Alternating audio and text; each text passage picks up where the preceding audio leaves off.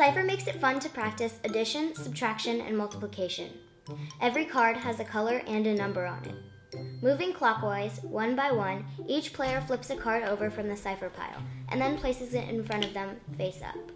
When two players have matching cards, they have to quickly add the number on their card with the number on their Ten. opponent's card and then shout out the correct Oh, answer. 15. The winner receives the opponent's card.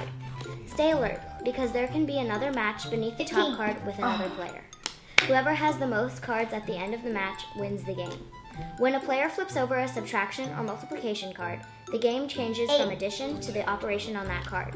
If you don't know your multiplication yet, that's okay. Those cards can easily be taken out, and when you feel comfortable with them, you can add them back in the deck.